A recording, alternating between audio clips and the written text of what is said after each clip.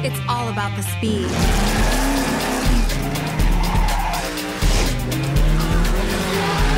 It's all about the control. It's all about the cars, the competition, the modding, the drifting. It's all about Juiced 2 Hot Import Nights. Rated T for Teen.